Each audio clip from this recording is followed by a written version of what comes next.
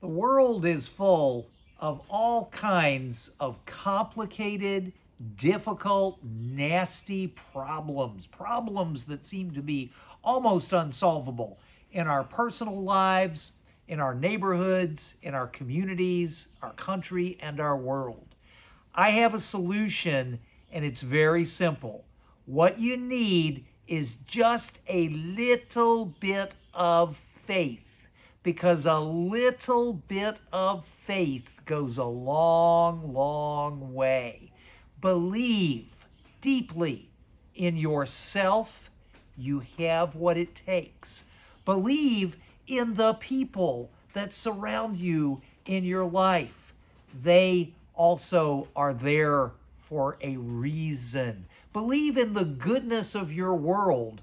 And above all, believe in the infinite love and mercy of God. In the Christian faith, that infinite love and mercy is the person of Jesus Christ. Have just a modicum of faith, just a little bit, and you're going to get where you need to go.